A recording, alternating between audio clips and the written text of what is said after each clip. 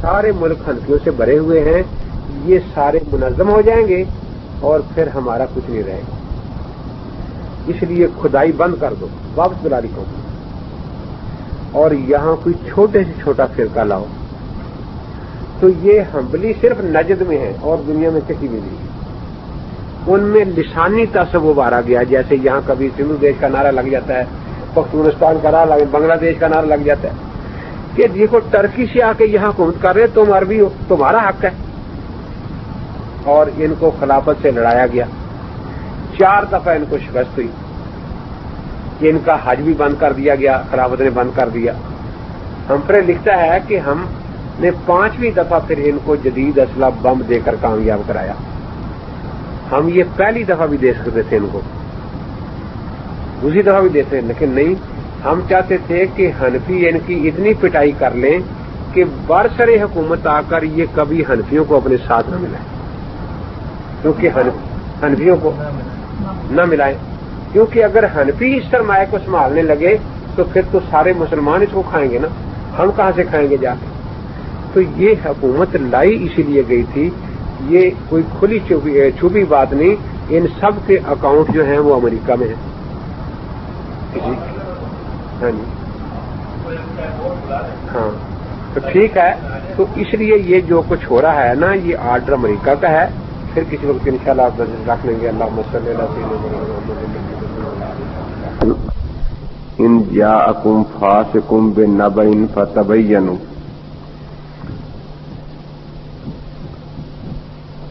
اور پھر اس کے بعد یہ بات بتائی تھی کہ تحقیق کا حق کن لوگوں کو ہے؟ تو اللہ تعالی نے تحقیق کا حق صرف دو ہستیوں کو دیا ہے۔ نبی اقدس صلی اللہ تعالی علیہ وسلم اور موئتھد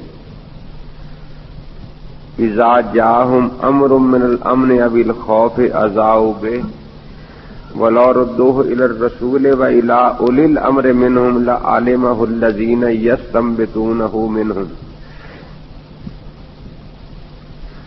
کہ تحقیق کرنے کا حق یا اللہ کے نبی کو ہے یا معیشت کو ہے، اور کسی کی تحقیق کو تحقیق نہیں سمجھا جائے گا۔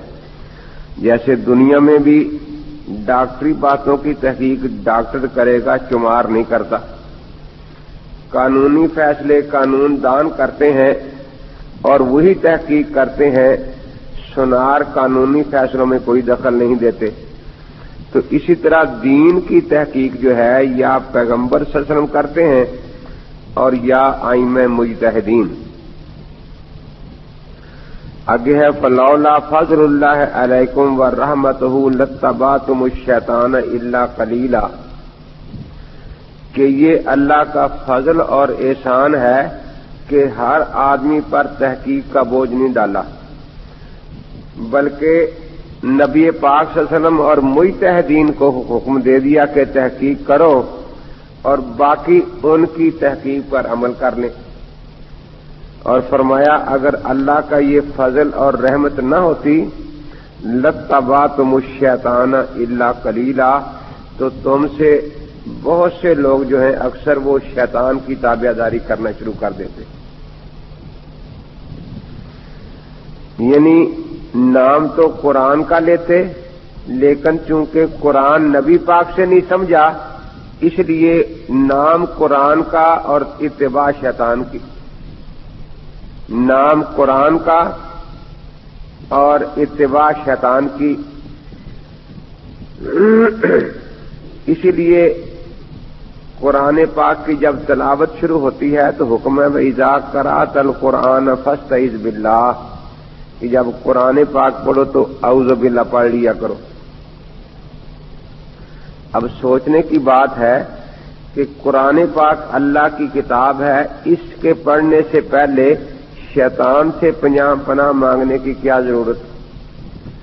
تو احادیث سے پتا چلتا ہے، ایک تو نبی پاس نے ارشاد فرمایا کہ ید اللہ الجماعت، اللہ کے ہاتھ جو ہے برکتوں اور رحمتوں والا وہ جماعت پر ہے۔ جو جماعت سے کٹ گیا، وہ شیطان کا نوالا بن گیا۔ فرمایا، جس طرح یہاں جنگل میں بھیڑیے پھرتے ہیں، اور جو بکری ریوڑ سے کٹ کر اکیلی جنگل میں چلی جائے، اپنے مالک کی نگرانی سے باہر چلی جائے، وہ بھیڑیا اس کو شکار کر لیتا ہے۔ اس طرح جو اجماع اور امت سے کٹ کر الگ ہو جائے تو شیطان اللہ نے بھیڑیا چھوڑا ہوا ہے، وہ شیطان کا نوالا بن جاتا ہے۔ تو قرآن پاک کی تلاوت سے پہلے اعوذ باللہ من الشیطان الرجیم پڑھنے کا مقصد یہی ہے کہ یا اللہ قرآن پاک کی کسی آیت کا ایسا مطلب سمجھنا آئے جو اجماع امت کے خلاف ہو۔ کیونکہ اگر اجماع سے میں کٹ گیا تو اگرچہ نام قرآن کا لوں گا، لیکن کام شیطان کا کروں گا۔ اسی طرح حدیث پاک میں آتا ہے فقیح واحد اشد الشیطان من الف عابدن اس سے معلوم ہوا کہ اللہ تعالی، نبی پاسم نے دو جماعتوں کا ذکر فرمایا۔ ایک وہ جو فوکہا کی مانتے ہیں، ایک وہ جو فوکہا کے مخالف ہے۔ جو فوکہا کی مانتے ہیں، ان کو مقلد کہا جاتا ہے۔ اور جو فوکہا کے مقابلے میں شیطان کی مانتے ہیں، ان کو غیر مقلد کہا جاتا ہے۔ تو فقہا کی مخالفت کرنے والا شیطان ہے۔ قرآن پاک سے پہلے اسی لیے اعوذ باللہ پڑھنے کا حکم ہے کہ قرآن کا کوئی ایسا مطلب ذہن میں نہ آ جائے جو فقہا کے بتائے ہوئے مطلب کے خلاف ہو۔ کیونکہ فقہا کے فہم کو قرآن پاک نے حجت قرار دیا ہے اور صفحا کے فہم کو قرآن پاک نے حجت قرار نہیں دیا۔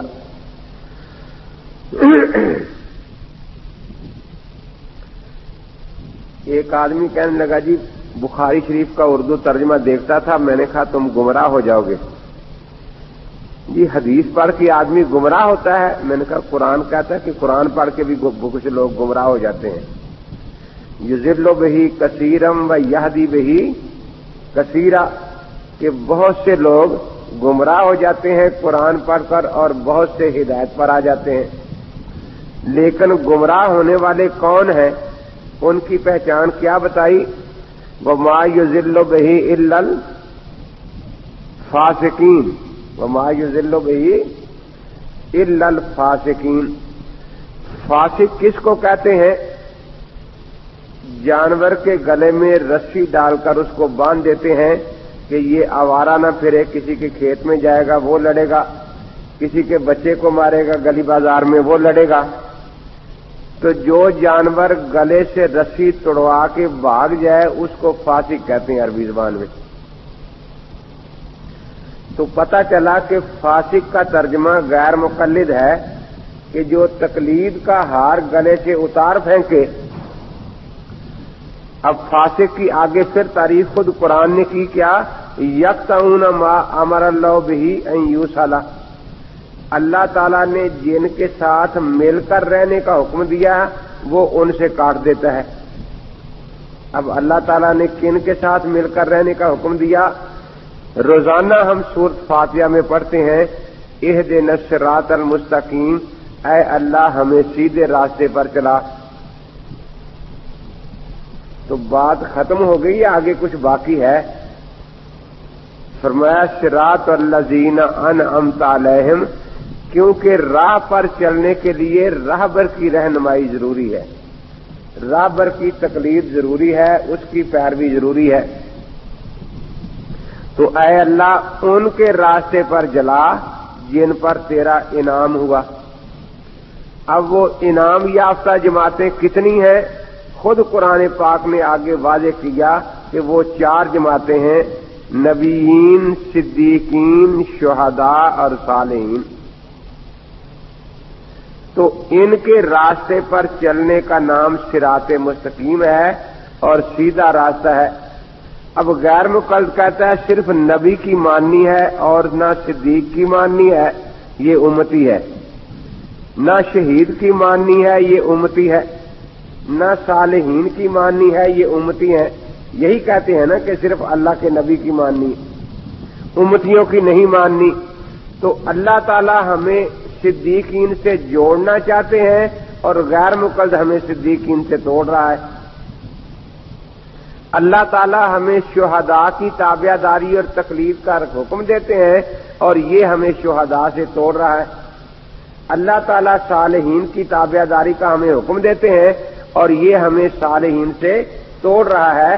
تو فاسق کی تعریف یہی کی یک امر اللہ بہی اللہ نے جن کے ساتھ مل کر رہنے کا حکم دیا ہے، یہ ان سے کاٹتا رہتا ہے۔ اور یہ تو میں نے ان کی بات مان کر کہا کہ وہ نبی کو مانتے ہیں، صدیقین کو نہیں مانتے۔ حقیقت یہ ہے کہ وہ نبی کو بھی نہیں مانتے۔ کیونکہ نبی کو ماننے کا صحیح طریقہ وہی ہے، جس طریقے سے نبی کی بات پہنچے، اسی طریقے سے مان لی جائے۔ وہ اس پر ایک لطیفہ یاد آیا طالب علم کا۔ امام صاحب رحمت اللہ تعالی علیہ حج کے لیے تشریف لے گئے۔ تو کوئی یہودی آئے، یہودیوں کا، قادیانیوں کا، غیر مقلدوں کا، سارے گمراہ فرقوں کا طریقہ ایک ہی ہوتا ہے۔ کہ محلے میں کوئی غریب مسلمان تلاش کرو، دکاندار۔ اس کو تھوڑے سے پیسے دے دیے کہ بھئی اپنی دکان ذرا بڑھا لے، کاروبار لمبا کر لے۔ اور وہاں اٹھنا بیٹھنا کر لیا، وہاں رسالے رکھ گئے، اشتہار رکھ گئے۔ وہاں بیٹھ کر لوگوں کے دل میں وسوسے ڈالنے شروع کر دیے۔ اپنے بیٹھنے کی جگہ بنا لی۔ تو امام صاحب رحمت اللہ علیہ حج پر تشریف لے گئے۔ یہودیوں نے یہ قصہ بعد میں شروع کیا۔ اب وہ بیٹھ کے وسو سے ڈالتے اور وسو سے ڈالنے کا طریقہ بڑا عجیب ہوتا ہے۔ جو آتا مسلمان اسے کہتے بھی اچھا ایک بات بتاؤ کہ اتفاق اچھی چیز ہے یا اختلاف؟ آپ کا کیا خیال ہے؟ اتفاق؟ وہ بھی کہتے اتفاق کہ دیکھو، تم اس بات پر پکے نہیں رہو گے۔ کہتے پکے رہیں گے تو بالکل نہیں رہو گے۔ اس کے بعد پوچھتا، اچھی طرح پکا کر کے کس بات پر پکے رہیں گے؟ موسا علیہ السلام کو جانتے ہو نا؟ کہتے ہاں موسا علیہ السلام تو اللہ کے سچے نبی ہیں۔ کہ دیکھو موسا علیہ السلام کے نبی ہونے پر سب کا اتفاق ہے۔ یہودی بھی ان کو نبی مانتے ہیں، عیسائی بھی مانتے ہیں، مسلمان بھی مانتے ہیں۔ اور حضرت محمد الرسول اللہ صلی اللہ علیہ وسلم پر اتفاق نہیں۔ مسلمان تو ان کو نبی مانتے ہیں، لیکن عیسائی بھی نہیں مانتے، یہودی بھی نہیں مانتے۔ اب اتفاق جب ہی ہو سکتا ہے کہ سارے کے سارے لوگ یہودی ہو جائیں، تاکہ ایک موسا علیہ السلام کے پیچھے لگ جائیں۔ انہی پر اتفاق ہے اور پھر ملک میں، دنیا میں اتفاق ہو جائے گا۔ اب کیوں بھائی جلدی کرنا یہودی ہو جائے تاکہ اتفاق ہو جائے، اتفاق ہو جائے، اتفاق ہو جائے۔ میں نے پہلے ہی کہا تھا کہ تو بات پر پکا نہیں رہے گا۔ دیکھے نا، اب تو اس پر نہیں آتا۔ یہ وسوسہ ڈالنے کا طریقہ تھا ان کا۔ اب ایسے موقع پر پھر مدرسہ یاد آتا ہے کہ چلو مدرسے چلیں۔ تو امام صاحب تو حج کے لیے تشریف لے گئے تھے، طالب علم کچھ بیٹھے تھے۔ مسلمان دو تین آئے کہ بھئی کوئی طالب علم ہے اچھا سمجھدار تھا وہاں چلنا ہے۔ تو ایک چھوٹا سا طالب کھڑا ہو گیا کہ میں چلتا ہوں۔ وہ ہنس پڑے کہ تو کیا کرے گا وہاں جا کے؟ کہ مناظرہ کروں گا؟ تو کیا مناظرہ کرے گا؟ چھوٹا سا تو ہے۔ تو میں ہی چھوٹا ہوں، میرا استاد تو امام اعظم ہے نا، بڑا امام ہے۔ تو مجھے نہ دیکھو، میرے استاد کی طرف خیال کرو۔ اگر میں ہار گیا، پھر کسی بڑے کو دیکھ لیں گے۔ وہ چل دیا انہوں نے کہا کہ اچھا پہلے ان کی بات سمجھ لے، وہ کس طرح دھوکہ دیتا ہے۔ وہی بات سمجھائی کہ کہتا ہے اتفاق اچھا ہے یا کیا۔ کہا، اس کا تو جواب ہی آسان ہے۔ اب وہ جب گیا ساتھ ان کے تو یہودی دیکھ کر ہنسنے لگے کہ ان سے چھوٹا کوئی نہیں تھا وہاں مدرسے میں۔ اس کو کس کو لے آیا ہمارے سامنے؟ نے کہا بھی مجھ سے بات کر لو۔ اگر میں ہار گیا تو پھر کسی بڑے کو بلا لیں گے۔ اب اس نے وہی اپنا وہ جو طریقہ تھا کہ اچھا یہ بتاؤ کہ اتفاق ہونا چاہیے یا اختلاف کے اتفاق ہونا چاہیے؟ آپ اتفاق میں ساتھ دیں گے کہ اتفاق ہو جائے کہ بالکل اتفاق والی بات مان لیں گے کہ بالکل مانوں گا، کیوں نہیں مانوں گا؟ کہ نہیں، کتنے مسلمان آتے ہیں، پہلے کہہ دیتے ہیں ہم مانیں گے، بعد میں انکار کر دیتے ہیں، چلے جاتے ہیں۔ لیکن میں تو نہیں کرتا انکار، مانوں گا۔ خوب اچھی طرح پکا کر لیا اسے۔ موسا علیہ السلام کو جانتے ہو نا؟ کس کو؟ کہ موسا علیہ السلام کو۔ کہاں رہتے تھے؟ کون تھے وہ؟ اب وہ یہودی پریشان کہ تو موسا علیہ السلام کو نہیں جانتا۔ کہاں رہتے تھے؟ تو پتا تو چلے۔ کون موسا علیہ السلام؟ کہاں رہتے تھے؟ اب وہ پھر بھائی تو موسا علیہ السلام کو نہیں جانتا۔ بتا تو دو نا، کون تھے، کہاں رہتے تھے، پھر میں بتاؤں کہ جانتا ہوں یا نہیں جانتا۔ تو مسلمان نہیں، کہ مسلمان ہوں۔ قرآن نہیں پڑھا پڑھا ہے۔ وہ قرآن میں موسا علیہ السلام کا ذکر نہیں آیا۔ اچھا اچھا اچھا۔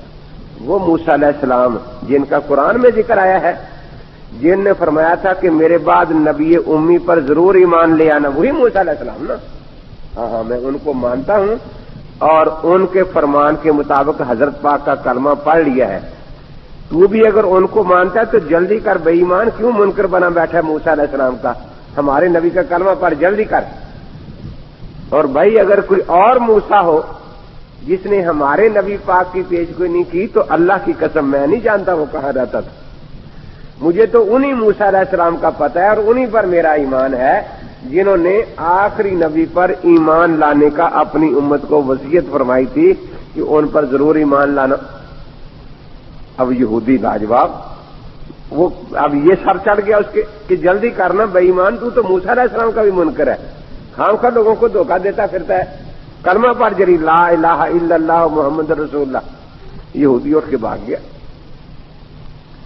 تو مقصد یہ ہے کہ گمراہ کون ہوتے ہیں قرآن یا حدیث سے جو اکابر کی تابع داری چھوڑ دیتے ہیں؟